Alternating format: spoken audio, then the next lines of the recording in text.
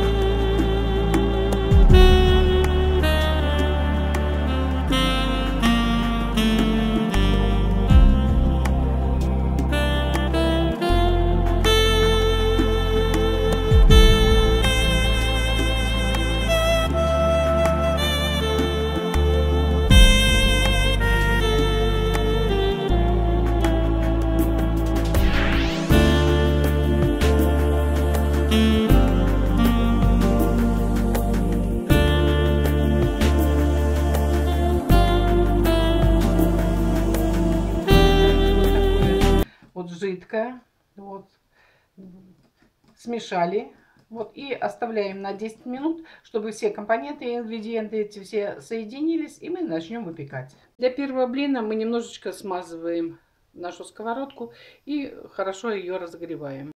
Перед выпеканием блинов всегда надо тесто помешать. Обязательно почта наша. Помешали. Берем, много не нужно лить. И вот так вот раскатали. Вот, видите, какими пузыречками получается у нас блин.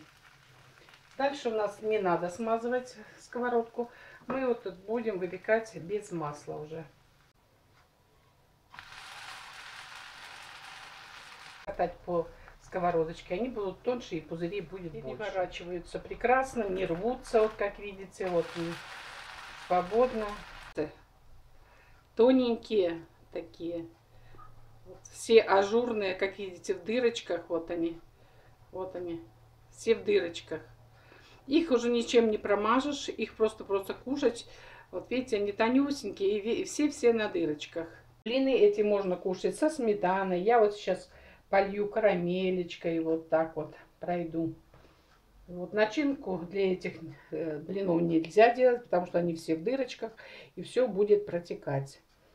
Ну вот, такие у нас получились красавицы. блины можно приготовить дома и кушать на здоровье.